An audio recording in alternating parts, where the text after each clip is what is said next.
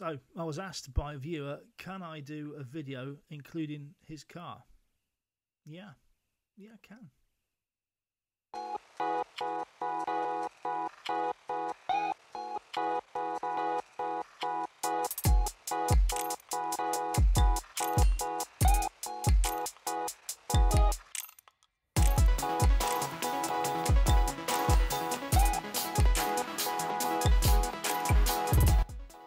So hi, I'm Dan.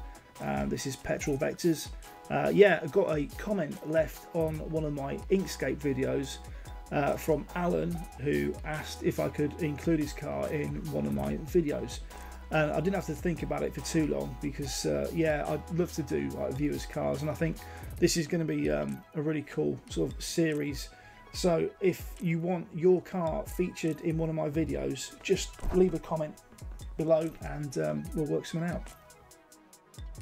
So, Alan's car then, he's got a Pontiac G8, which for a car guy in the UK, uh, I don't know a massive amount of these cars. I know they've got some connection with the uh, Australian Commodores, but um, apart from that, in the UK, we don't have much of a representation on these cars.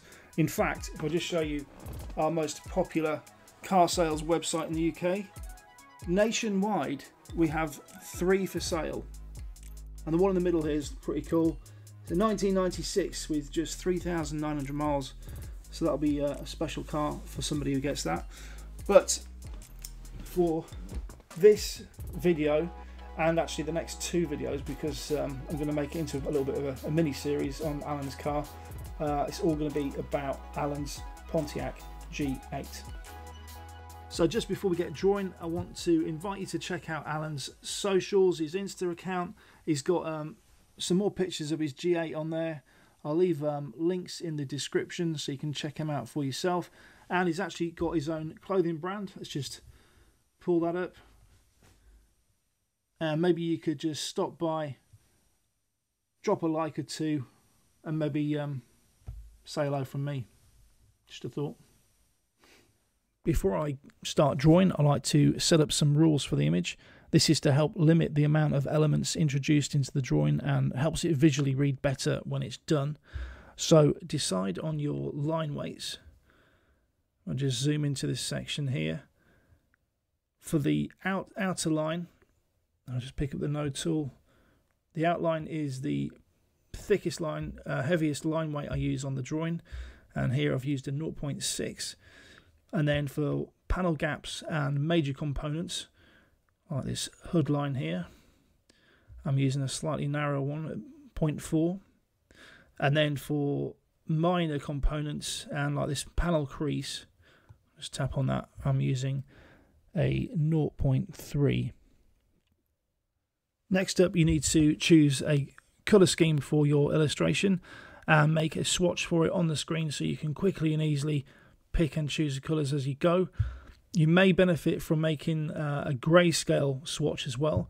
I didn't for this one uh, because I'm a reckless maverick with scant regard for the rules, but you may find it beneficial when you're starting out to do that.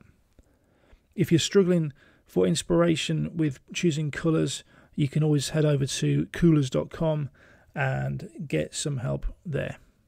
So now we are ready to start drawing. I'm going to begin by replicating a bit of the bodywork here just so I'll show you how to do the reflections. Um, we're going to pick up the pen tool. We're already on 0.6 for our outline. So I'm just going to quickly replicate that edge.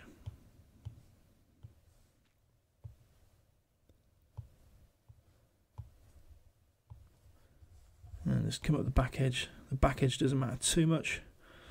Let's pick up the node tool and put some curves into this.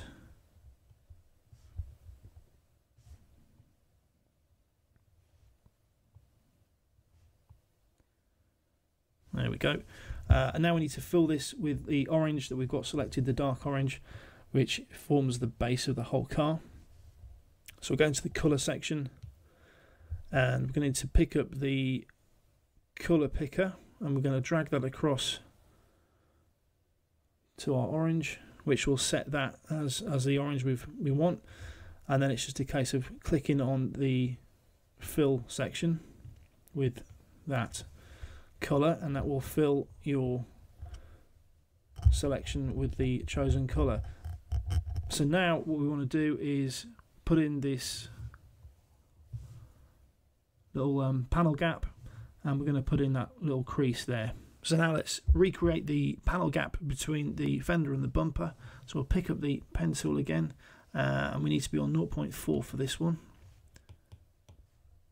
Uh, it's just a simple S bend so it's just a couple of clicks. And then we're going to go to the node tool and just put the S bend into it. That's a bit strong, let's just change that. And it won't really matter for this example, but we'll try and get it as accurate as we can. Okay, that's not too bad. Uh, now I want to put in this panel crease, and for that we're going to have to be on 0.3, and that will need a little bit of extra work because we've got to put the sharp edges on on the ends so let's have a look. So it comes in about there to there somewhere. And then we'll pick up the node tool again and just put a bend into it.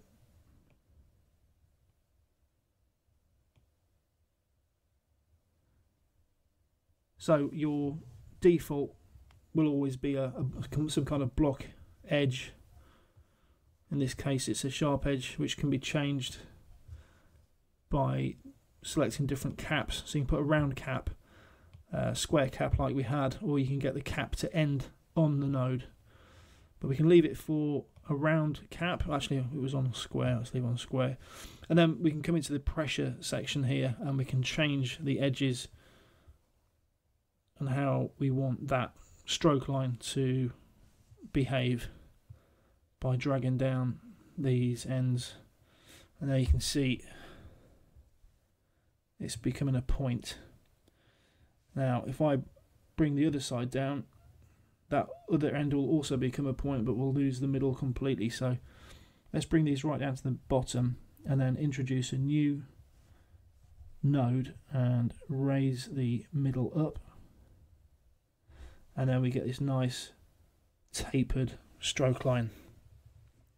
So with our colour flat in place, we can now start looking at the mid reflections, which is the lighter orange. Now, if I just turn back on the photo I used,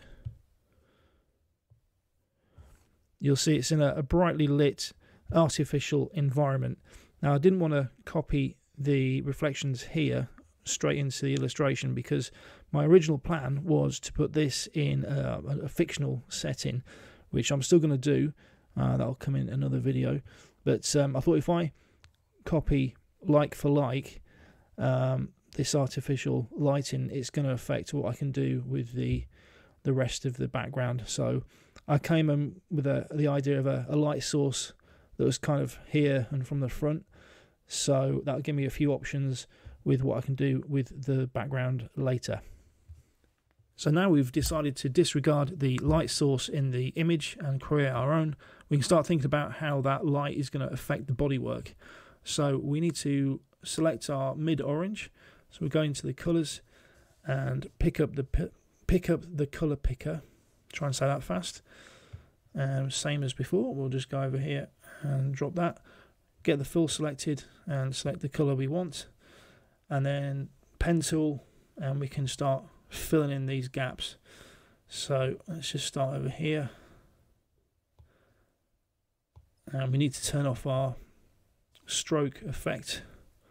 Just tap on there and reset the pressure. It gives a nice flat edge. And you want to kind of follow the edge of the bodywork, but not all the way. So you want to come into something like that. What did I do over here? Followed the edge of the panel and then cut back in like that. And then let's just fill it with our orange. And while we're here we can turn off that stroke because we won't need the stroke for any of this. And then back into the node tool this time and we can start playing around with these shapes. And what I tend to do, if I bend one way, the next line I bend it the other way. Uh, it doesn't always work, like here, it depends what you're up against on the panel. That needs to follow that edge. Let's bring it a bit closer. And that's the same, let's bend that one way.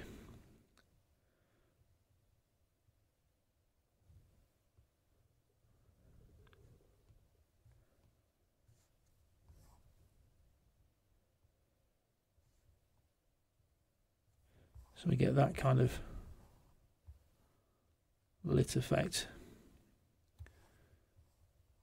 In fact, let's just bring this one, let's bring this one this way and round that off just for a bit of variation.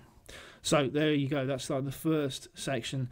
Now, where the panel gaps are, you want to leave a darker edge. And that gives the impression that the, the two panels aren't completely flat and they, they kind of bend in.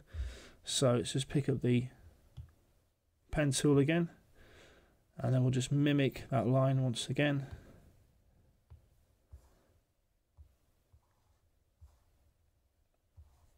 And that was a fairly straightforward drop down onto the edge and back up.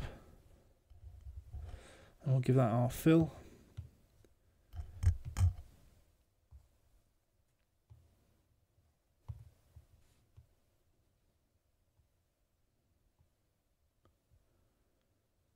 And let's just make it maybe a little more interesting. Let's just add a couple of nodes here so we can move those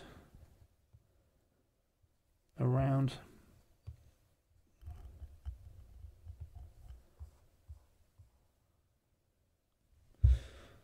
Okay and that's basically it for the midtones.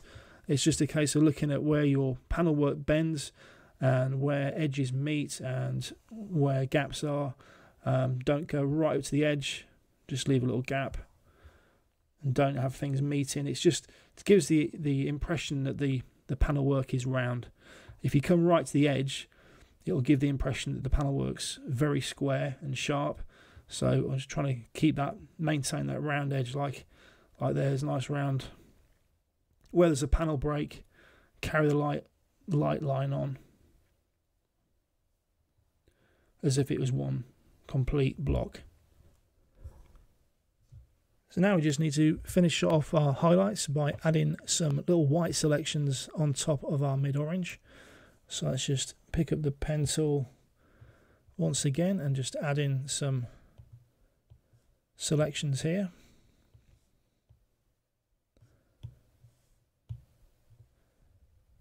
And then just add some curves by deflecting these lines. And then we can repeat the process on the next section underneath. So it's got a bit of continuity on the panel.